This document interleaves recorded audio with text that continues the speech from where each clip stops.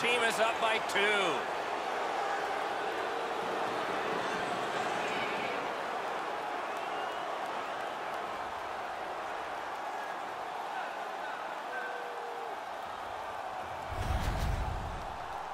You get this close to the goaltender, the puck on your stick, you got to snap it